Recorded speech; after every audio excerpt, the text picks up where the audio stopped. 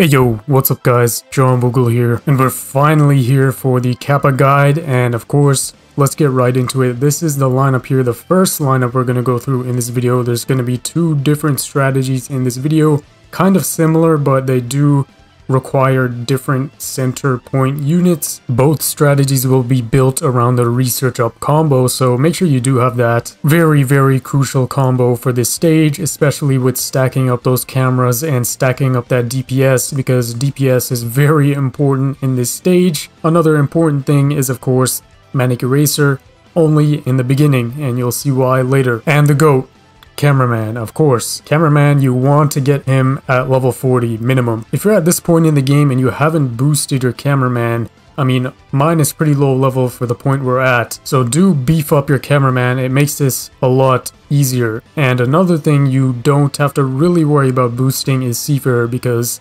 Seafarer does have Survival Lethal Strike, so you don't need to boost him to survive a hit. But you can boost him to survive a hit if you want to get him to level like 47.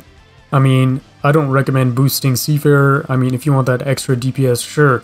Now, Pizza, you want to get him to at least level 35 to survive a hit, so make sure you have him above level 35 and you're set. And that is our main source of damage right there. Camera being the number one priority for damage, that is why you want to boost camera. Then we have Seafarer for the crowd control against the alien kangaroos, aka Scissoroos. Then of course we have Pizza for the survivability and DPS as well. Now that is the first half of the lineup. Let's talk about the second half and the very crucial half, the crowd control aspect. Of course, Macho Crystal. This is very crucial for this strategy right here. Now don't stress if you don't have Macho Crystal because in the second half of this video we're going to go over the strategy with True Form Vendor aka Tourist Cat. But this first one, Macho Crystal, is crucial and another crucial unit we have in the first lineup here is of course Sniper the Deadeye, a very very OP unit to bring in this stage. And the reason I say OP is because right next to him we have one of the best cats in the game, of course, Cyberpunk. Cyberpunk paired with Sniper the Deadeye makes it very possible to just lock crowd control Kappa very easily. Now, the thing with Cyberpunk is you don't have to get it high level or anything. The main reason we're bringing him is the crowd control, but extra DPS is nice always, but you don't need it, so keep that in mind. But one thing you might need to get this consistently down is a few slow talents. If you do have some NP to spare, Cyberpunk's slow talents are very powerful. But with the pairing of Sniper the Deadeye in this level and Sniper Cat power-up, you might not need any slow talents at all. Now, power-ups for the stage, you don't really need to bring Sniper Cat power-up since we do have some heavy crowd control already, but in case you don't have Cyberpunk slow talents or in case you want to be extra safe, Sniper Cat power-up does help definitely. But a thing you do want to bring actually is Rich Cat power-up. While the level is very possible without Rich Cat power-up, the thing here is if you don't have a good base to build on while you're in the beginning few stages of this level, you're not going to beat the level. And what I mean by that is if you don't stack up your DPS enough, if you don't have enough cash to do so, once you hit the base, you're going to be unprepared, you won't be able to kill the Scissoroos in time, unless your cats are heavily boosted or you're using the help of Ubers. So Rich Cat completely eliminates that problem and lets you stack up in the beginning very greatly and build a good base for when you hit the base. Okay, finally, let's talk about the strategy here as we are doing right now. And if you couldn't tell already, we are stalling as much as possible because we want to get Sniper Cat or Sniper the Deadeye recharged as quickly as possible and maybe even recharged before you hit the base. And if you're able to do that, that is pretty much guaranteed to seal the deal and beat the level if you do play it properly, that is. And if you aren't able to do that, that is where Cyberpunk comes in. Cyberpunk will stall as much as possible even when Kappy is out to let your Sniper Cat recharge. And once you have two Sniper the Deadeyes on the field, it is just a joke. So not only is stacking up your DPS very crucial in the beginning of the stage, stacking up your crowd control units is also very crucial as well, because you want to get that head start. If you don't have that head start, and take advantage of the base hit, you're gonna lose. I can only imagine how hell this stage would have been if it wasn't a base hit stage. Being a base hit stage makes it very easy to counter. Now you don't want to over push in the beginning, but if you do kill Scissoroo and you push a little bit too early, you just have to make sure you build up enough DPS. So start spamming camera, start spamming pizza, start spamming Seafarer, and once you hit that base, you're gonna have a nice stack ready to just wipe out the Scissoroos as quickly as possible and just fully focus on Kappy and crowd controlling Kappy. Now you must be wondering, Boogle, what if Kappy does a surge and hits my sniper the Deadeye? Well, some of that might be RNG and sometimes you might get screwed over, so keep that in mind, but some of it is also reliant on timing. A big thing is as soon as you clear that Scissoroo wave, you want to time in Macho Glass Cat and get those crowd controls immediately because it's only a matter of time that one Cyberpunk and one Sniper the Deadeye is able to completely crowd control Kappy until he starts pushing forward very hard. So Macho Glass Cat is the crux of the lineup. You send out Macho Glass Cat in time perfectly to crowd control Kappy to get him at a safe distance once again. That lets all of your other crowd control units just go to town. And as you can see, because we took our time in the beginning of the level to stack up Sniper the Deadeye and get it recharged quickly as possible, we do have two Sniper the Deadeyes on the field, and this is a pretty much a done deal. Now some very very important things here. If you don't have enough DPS stacked up in the beginning, of course, you're not going to be able to clear the peons. And what that means is, first of all, Kappa is going to push hard because Sniper the Deadeye won't be able to hit with so many peons in the way.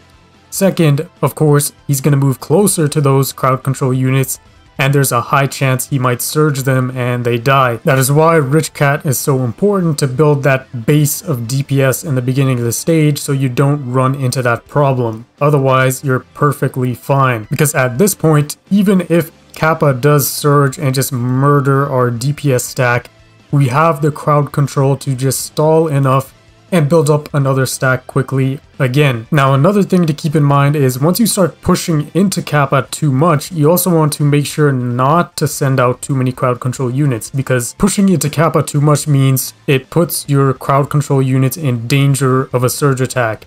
And if you don't have them charged up in time, or ready, Kappa will push forward relentlessly and eventually just get to the base and you're done for. Unless you have him at low health, you're pretty much done for. So always make sure you do have a Cyberpunk ready just in case that happens. Make sure you do have Sniper the Deadeye ready just in case that happens. Do not send them out immediately if you have more than two on the field already. And also, don't forget to send out that crucial Macho Crystal. Don't forget to cycle, it is very important. And eventually you're going to reach a point where it's just going to become way too easy and you're just going to keep bullying Kappa until he finally is dead and bam, there you go. You completed Flow Like the Stream pretty easily. Now let's hop into the second strategy, a pretty similar strategy, but let's hop into more suggestions as well and some more tips and stuff like that. So yeah. Now for my people who do not have Sniper the Deadeye, stress not because there's this wonderful unit by the name of Vendor Cat aka Tourist and Basically, it plays the same role, but a lot more risky. Now, since we don't have the ability to stack Sniper the Deadeye in the beginning, we're gonna try to get Cyberpunk recharged as quick as possible this time. Now once again, you want to absolutely make sure you do not over push, otherwise you won't be able to get your Cyberpunk at a decent recharge ready for when Kappa comes out. Now the main difference here is of course with Sniper the Deadeye we can crowd control at a safe distance, but this time with Vendor Cat there's a lot more timing involved and Another thing that is very heavily involved is peon control. So you want to absolutely make sure you build up enough DPS in the beginning when you hit the base. Now this was a pretty bad run. As you can see, we killed the Scissoroo way too early. We hit the base way too early. We didn't have a good enough stack ready and he started to push forward hard already. The crucial thing we did to flip this run around was of course get our vendor cat cycles correctly and get those macho crystal cat cycles correctly. Now this is where bringing sniper cat power up is actually very crucial because those knockbacks are very helpful to get him at a safe distance to let Cyberpunk get those slows. Now that doesn't mean you just completely ignore Macho Crystal because you want to absolutely make sure you cycle that correctly every chance you get because that also lets Cyberpunk just slow Kappa down. Now once you handle the first Scissoroo wave, that is your opportunity to, of course, to recycle. This is when you want to push as hard as possible get Kappa back as far as possible before the next wave of Scissoroos arrive and if you just keep cycling that over and over again, you're gonna beat this level eventually. Now if you miss your tourist cycles, if you mess up your Macho Crystal cycles, that is a big problem because this time you don't have the backup of Sniper the Deadeye on the field you're just gonna have to rely on Sniper Cat power up to knock back Kappa. And that isn't very reliable. That's just an extra bonus and extra security to have but you do not want to rely on it. Now another problem is if you don't kill the Scissoroos quick enough, you're not going to be able to tourist cycle in the first place, because it's going to be difficult if not impossible to get tourists crowd controls with Scissoroos in the way. So some of that maybe is RNG reliant, maybe Kappa just keeps destroying your stack over and over again.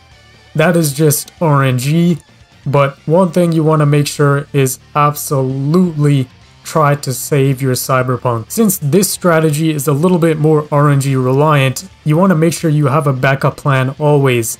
Having two Cyberpunks on the field might be a good thing, but what if both of them die in one surge? Then you're completely screwed. So make sure you do have Cyberpunk ready just in case, and if you are in a position where all of your cycles are going perfectly and flawlessly, you're getting those Macho Crystal cycles on dot, you're getting those tourist cycles in every now and then to put Kappy or Kappa back at a safe distance, then sending a second Cyberpunk might be a good idea. But if you struggle with those cycles and getting them on time correctly, save your Cyberpunk absolutely. Now let's talk about some suggestions. I'm not going to go over the obvious, obvious suggestions like Dastly and Epic Fest exclusives and stuff like that, but Special Cat talents. There is two Special Cats here that can pretty much power creep the stage if you do have the talents. Those two being of course Beefcake and of course Gato Amigo both have that Surge Evade or Surge Immune talent which is very overpowered for this stage. It does power creep this stage pretty hard. Only issue with that is when are you gonna ever boost or NP your special cats over something like Cyberpunk? So unless you have no other way and you're very desperate to beat this stage, I only recommend spending your NP and investing in special cats then. Otherwise, invest in your main units, camera, Cyberpunk, Pizza, Seafarer, etc. Uber usage, stuff like Balrog is pretty powerful here, bringing anti-alien nukers to just wipe out the Scissoroo waves and just completely focus on Kappa, also very helpful. Some of the Lugas in the Luga family actually work pretty well here, surprisingly. Rusher Ubers, like of course Yuki, is also good here. But really, what you want to keep is the base strategy. Base strategy, build up a DPS stack in the beginning and get some nice crowd control units. If you have that, you can beat this level pretty easily. So yeah, that's gonna do it. Invest into the correct units that you need to beat this stage. Don't waste investing on units that you might not use down the line. A very important thing to keep in mind always. Stuff like Cyberpunk camera is gonna be relevant all the time basically. So investing in those units is crucial unless you're desperate. Like I said once again, you really want to beat the stage and you don't have any other way then going for those special cat talents is an option. Not one I recommend, but it is an option. But yeah, that's it guys. Drop a like if this guide helped you out. Subscribe if you're new. Join the hashtag Boogle Gang. That is it for Kappa Guide. Of course, finally it is here and finally it is over and revenge guides are gonna come eventually. So it's not like I'm not gonna ever do any of the revenge advents as well. I will attempt to cover everything I can. But yeah, it's been John Boogle, and see ya.